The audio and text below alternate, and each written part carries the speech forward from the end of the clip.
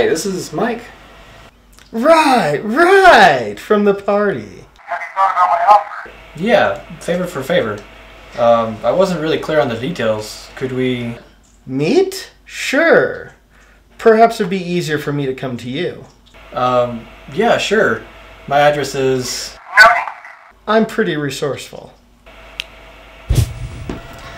So tell me, what would you do for I oh, hate those things. What? A Klondike bar. I used to love them as a kid, but. But I lost my taste for them. Sorry about that, kid. Need your head in the game. So last night you said something about someone giving you a lottery ticket? Your shot, by the way.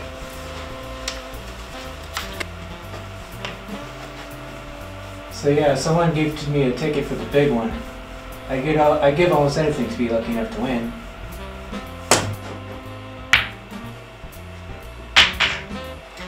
Luck doesn't seem to be a problem for you. Yeah? Well, I've never played this well before.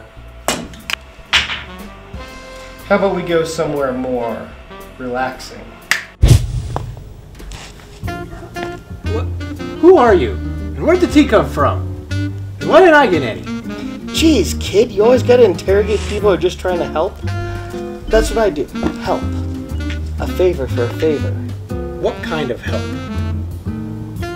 You ever heard of Spielberg, Hughes, Baldwin? Weird Al?